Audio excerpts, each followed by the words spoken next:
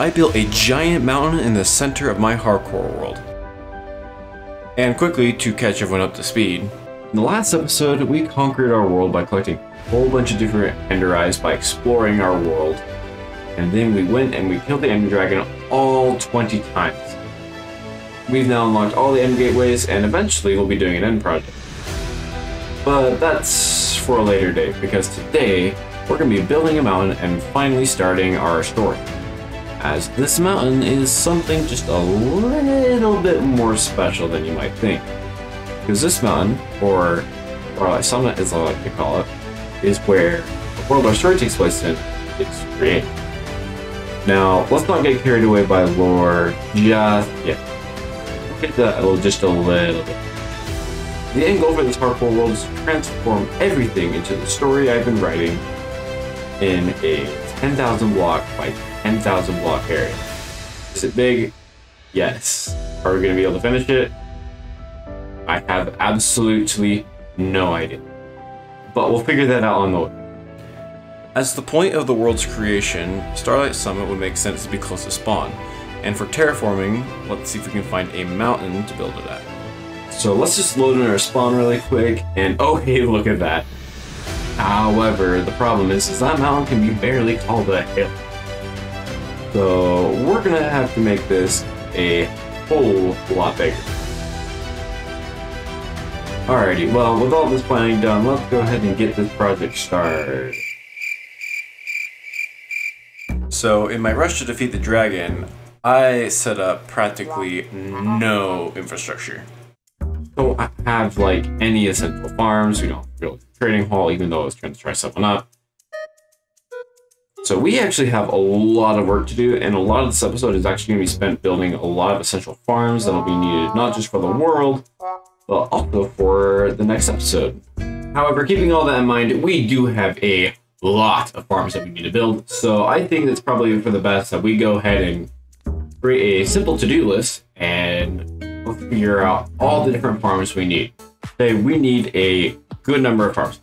First of all, we need a villager trading. Villager trading halls are super important for basically any Minecraft world because they allow you to be able to get a lot of items much easier than if you were to try to do it without. Second, we need to build a gold XP farm. We're not building an Enderman farm because I have much bigger plans for the end. Right, so we need to get a quarry to get all the stone that we're gonna need. And we need a pretty simple sheep farm for wool. We need a we need to build a guardian farm for sea lanterns and prismarine. We're gonna need to go and visit our coral reef, and we're gonna need to go and get a whole bunch of coral. That way we can make colored sea lanterns from the charm mod. And then last of all, we need to get at least one of each color of concrete powder. And then we need to build a we need to build a sand duper because it also works for concrete. Now, you're probably hearing me and you're just like, wait, uh, sand duper? Yes, yes, I am talking about a sand duper. Isn't that super overpowered and lame? Yup. But we're doing it anyways because, well, there is one way or another for me to be able to get resources without destroying my world, you can bet I'm going to take it. Because first on the trading hall. Now, there's a lot of different ways that we can be able to handle the trading hall. But I decided to take a more creative approach. Because I could, as easy as it is to create like a super simple design for a trading hall, I much prefer to be able to try and do something more creative that fits within our world. What I'm doing is I'm setting up a building for building where I can group certain villagers together, kind of make it kind of, kind of like a shop. So to start off, we worked on the library. I kind of wanted to base it off existing structures, so I went with Dimension mansion vibe, and that has some pretty nice and fancy libraries, and I think that emulating something like that is pretty cool. Well, I also kind of experimented with giving it like a little custom clock using Create, because apparently, apparently there's a clockwork fairy that actually does that. So after we finished up the library, I went and got to work on the gold farm. And 14 stacks of magma blocks might sound like a lot, but surprisingly enough, it actually didn't take as long to collect as I think. And I gotta say, a huge thank you to the uh, charm mod again. I have an enchantment called Collection, which just allows me to be able to break blocks and puts it directly in my inventory. super helpful for this because it made it so that any magma blocks that could fall in the lava don't fall in the lava and it just makes things just a lot easier to deal with. So, would recommend. The farm itself didn't take too long to build, other than a couple ghast jump scares. Um, but I really like the design of the farm as it aggroes all of the zombie pigmen on the iron golem instead of me. Being AFK at a farm is actually one of the most risky positions you can be in. If something doesn't work as intended, it could easily work in you dying and there's no way for you to stop it because you're not near your computer. So after fishing at the gold farm, I got to work on trying to create a radio port. Seemed like it'd be probably one of the easier projects to do, but for the life of me, I could not figure out how to build it. So I instead ended up creating a tunnel bore. Now, a tunnel bore uses a minecart contraption. Now, a quick note with these. Um, you can actually pick these up with wrenches. Make sure they're assembled. I don't have good footage of it, but I nearly died because I jumped in the minecart when trying to pick it up and got stuck in the contraption. Luckily, I only made it down to half a health before I got out, and that was maybe just a little bit too close. So, um, won't be doing that again. Now, jumping back over to the trading hall, well, I decided to start working on the farmer's building, or I guess as I like to call it, farmer's market. Is that a store or am I just making it up? Let me know in the comments. So I decided to build the barn out of uh, mangrove and oak wood. This will be able to house my bees, my farmers, butchers, beekeepers, as well as my sheep until I'm ready to actually get like an automatic wool farm set up. After doing that, I started setting up the Guardian Farm. Now, the Guardian Farm in particular was actually probably one of the scarier things I had to do. So, in order to do this, I actually had to use invisibility potions, which meant I could only wear one piece of armor. Otherwise, otherwise they could see me and I just get lasered to death. Not a fun fate, and I'd rather not die. And yeah, I decided to choose a certain design that didn't involve draining the monument. As cool as draining ocean monuments are and how popular they've been with content creators such as Philza and Loony and actually pretty much just everyone. Everyone likes to drain ocean monuments. I decided I didn't want to do that because like, I might drain an ocean monument later. But if I'm going to drain an ocean monument, I kind of want it to be its own project. And having to do project for another project project or another project. And I want to make sure that whenever I upload one of these videos, I've made like substantial progress. If I keep doing that, I'll just keep working project, project, project, never get anything done. My ADHD is abs absolutely nuts. I really like like the water effect here. I don't know why. So I built the farm. I built the farm really cautiously. I think kept a very close eye on how much visibility it had. Luckily, building the farm actually went super smoothly without any complications, surprisingly enough, which was a huge relief. Sea lanterns are super important for this build as well as many other builds I'll be doing, so having an easy way to get them in this world is super important. After that, we went to Coral Reef and started gathering coral. I learned very quickly that if we wanted to get coral, we'd have to like destroy like the entire biome. And as I already mentioned earlier, I'm not a big fan of that. So I went to see if there's actually any kind of coral farm. And turns out there is.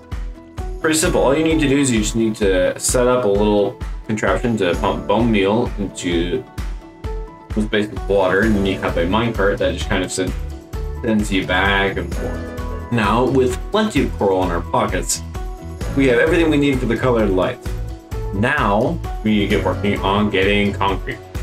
So I went ahead and I made a dye farm and then worked on making one of most of the colors I need for that and got one of each color of concrete powder.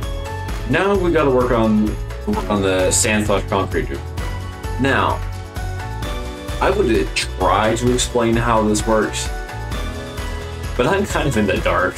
I don't even know what I'm doing here. Just follow, follow the tutorial. There's plenty of tutorials. But all I know is that you get some sand and some pistons. You launch you launch the sand into the end portal and then somehow it duplicates and it shows up in the end. You just set up a chunk loader and then you just AFK in the end with the clutch. Does that make any sense? You know, I don't I don't even know if that made sense to me. But at this point in time, with all that done, we're pretty much ready to get working on the mountain. Uh, the oh right, I did set up a wool farm as well. It's pretty easy actually.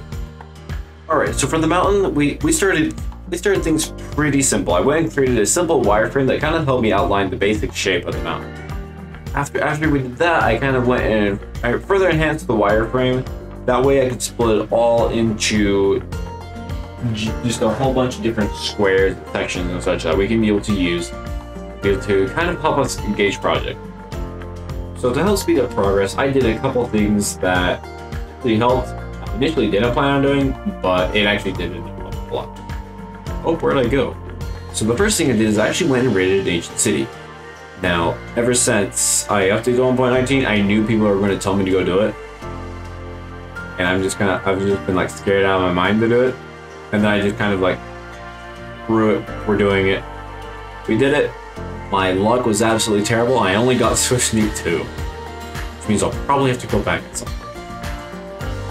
But for now, Swift Sneak 2 will do. I'm okay with this. This is better than nothing. So yeah, then after about halfway, I realized that I've just been kind of dumb. Like, the whole time. I never even needed to make a quarry or a tunnel bore. I only needed to make a cobblestone generator. I realized that halfway through. So yeah, I made a cobblestone generator and connected it to a furnace array. And oh my gosh, it sped up progress by like 10. Why didn't I do this earlier? Yeah, it really helped because I didn't have to go mine stone anytime it ran out and it really sped things up. And after I got that done, I was able to finish it just within like a couple days. Now that we have a lot of the explanations done, let's go ahead and do a quick montage of us building the mountain.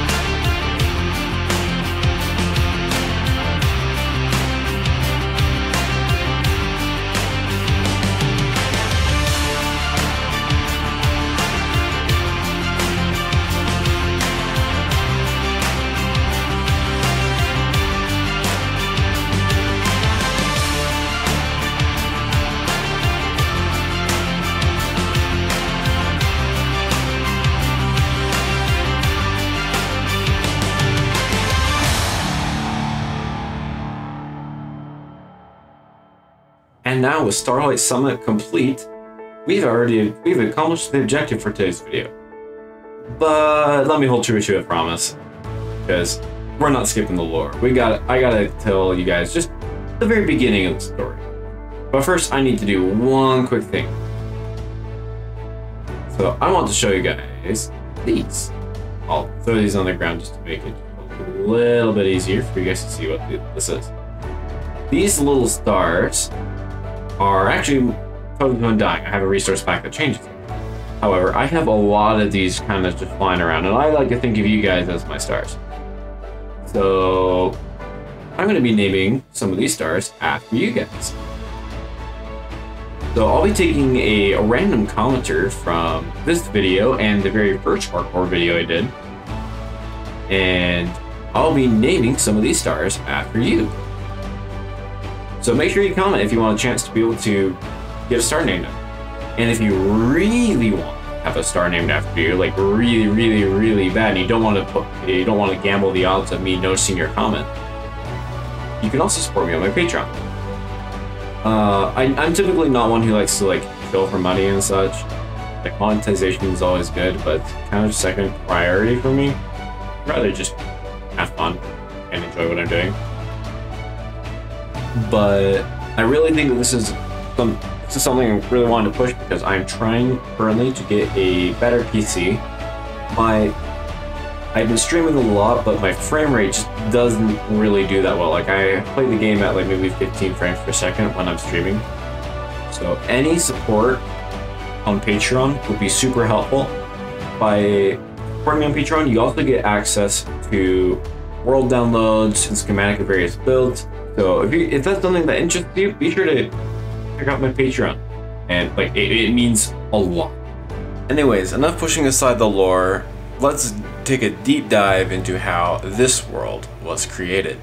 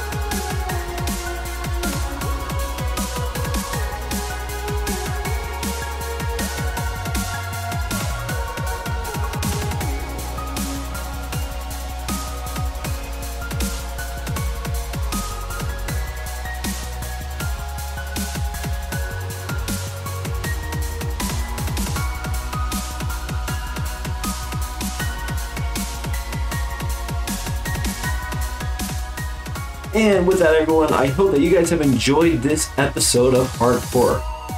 I've really loved working on this big project, and I can't wait to see what else comes comes of this world.